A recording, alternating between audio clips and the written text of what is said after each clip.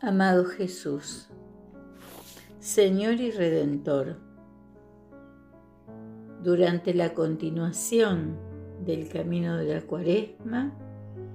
para celebrar el gran misterio de tu muerte y resurrección,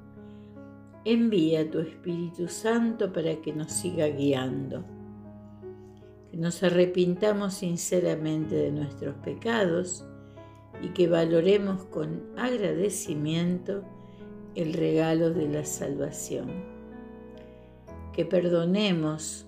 como hemos sido perdonados, que amemos como hemos sido amados, que sirvamos como hemos sido servidos, que confiemos en ti en todo momento, seguros de que en tu misericordia deseas la redención del mundo entero.